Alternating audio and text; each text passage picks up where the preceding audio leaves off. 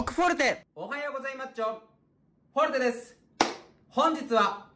岡山県イコットニコットのストリートピアノに僕とピロピロピロピロサックス吹きの血のてったくんで遊びに行ってきました。撮影に行った日は違うストリートピアノで演奏をしてきたのですが以前その動画が上がってると思います。その日にテレビ局の方がいらっしゃって、いいことにほったでぜひ来てくださいということだったらもちろん行きましょうということでね、えー、テレビ撮影もしてもらい、いことにことで演奏してきました。そちらの映像です。タブレットの楽譜を用いたんですけども、途中大パニックのようにフォルテが本当にピーってなってるので、その様子もぜひ楽しんでもらえたらなと思いまっちょで、テレビ用の撮影だったので、僕もね、かなり興奮し、カヤもかなり興奮し、結構オーバーなリアクションを撮ってると思いますので、そちらもぜひ楽しんでもらえたらなと思います。フォルテと血のてったくんが俳優になる日は近いかもしれません。演奏家を演じてます。それでは、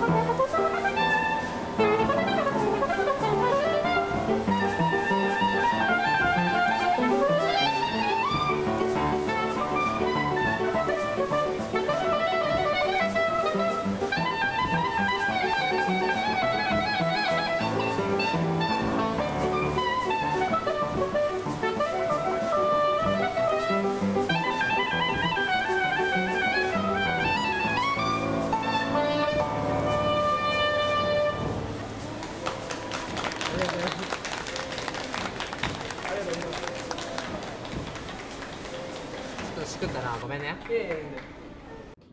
いここまで見てくれてありがとうございますちょタブレットのパニックのシーン見ました？あとかなってましたよねそして途中篠哲太君の演奏に興奮した僕は耳を塞いじゃいましたそのシーンもしっかり映ってたかなと思いますえー、彼とはね、もう長い付き合いなんですけども、長いと言ってもまあ、まだ4月からの出会いなんですけども、かなりね、えー、ピロピロ吹きのね、サックスくんはね、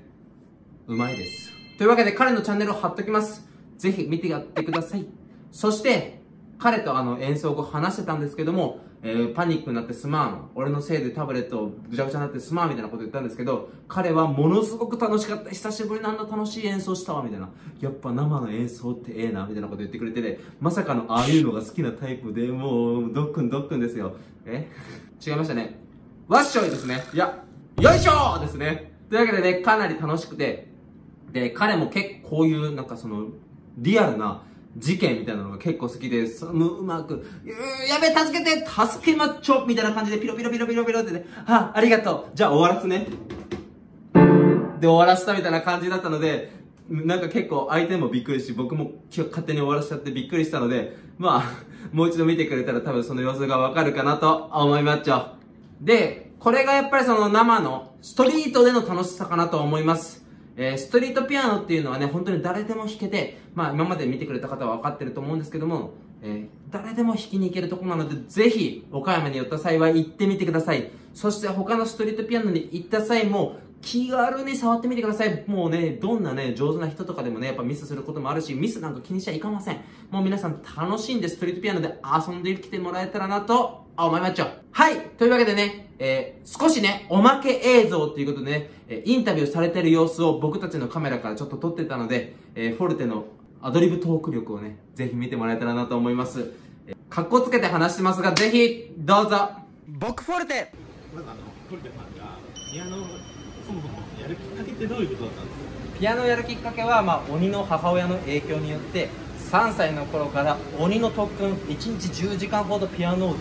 とやっていました。母親がピアニストにさせたいという思いからまず始まりました。それでも、今さらにこう YouTube がっていう形っていうのはどうですか？もう僕としてはねもう天職だと思っていてもともとメディアに出たりとか、まあ、テレビに出たりとかしたいなと思ってたんですけどもやっぱどうしても